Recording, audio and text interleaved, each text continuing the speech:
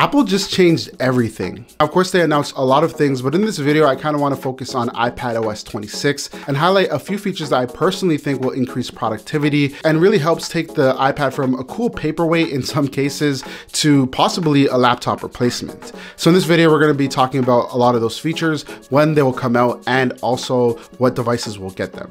Let's start off with design. Apple has debuted a new design. Apple calls it liquid glass, which is translucent and kind of transforms based on what you're doing with the iPad. It can kind of reflect whatever's behind the apps and kind of get the apps out of the way while you're using the iPad. It gives the iPad a nice clean look and I think overall allows your personality to shine through. Now looks aside, let's move on to some of the things that really are going to increase the productivity of the iPad. I think that the main thing that a lot of people are going to be going crazy over is windowed apps. And Apple has found a way to do windowed apps in a truer and more multitasky kind of way. You can finally run multiple apps and windows at once with the ability to resize app windows and put them exactly where you want them.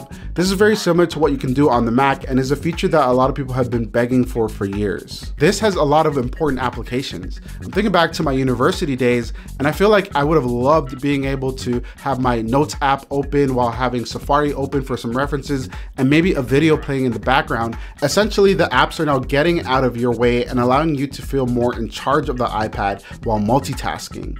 You can snap apps into place with just a flick, view all windows all at once, and works with external displays. Now going back to looking at the apps all at once, that is what Apple calls Expose, which is ported over from the Mac itself. It shows your open windows in a tiled format, making it easier to jump between your windows. And if any of the apps have long running tasks like exports, they'll continue to run in the background. So if you do edit videos in like Final Cut, for example, you can have your Final Cut window open and everything's gonna export in the back. That is pretty damn cool. Again, things like this really help bridge the gap between iPads and MacBooks. Next up, Apple announced a new and improved Files app. The new Files app has a list view with resizable columns and folders that you can collapse. You can also customize folders with color, drag folders into the dock, and choose default apps for opening specific file types. Again, that's something that I think is really important for people that use the iPad for more than just browsing the web. Another little neat feature that Apple brought over is a menu bar. So I feel like a menu bar is probably one of the classic things needed in a computer, not so much an iPad, but I do like that it's there. It shows up in your active app and gives you a little bit of options that we're all used to like file, edit, view, window, format, and help. Now the next thing that iPad OS 26 will have is the preview app. And if you're somebody like me that looks over a lot of PDF documents, I've always found that it's a lot easier to fill out documents and review documents in general on a MacBook or a bigger screen. But now with iPad OS, it's gonna be a lot easier. Preview is being ported over into iPad OS 26 and allows you to view and edit PDFs. PDFs.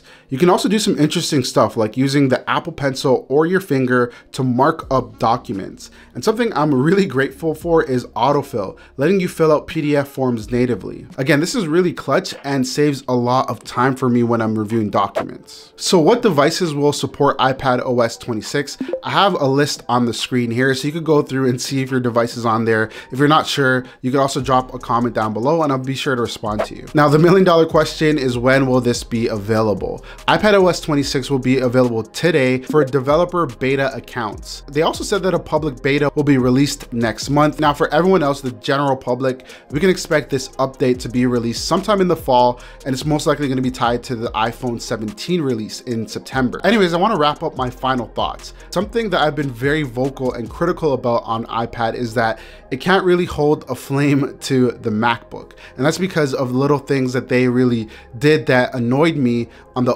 OS side that really disabled this device. Now they're unlocking a few more features very slowly, but they're doing it. So we got to give them some kudos here. And those features make it a lot easier to get things done without needing a Mac. Anyways, let me know what your thoughts are on the new WWDC 2025 announcements. Or if you have any questions in general, let me know down below in the comments. I'm responding to everybody. While you're there, give the video a thumbs up and don't forget to subscribe and I'll see you in the next one.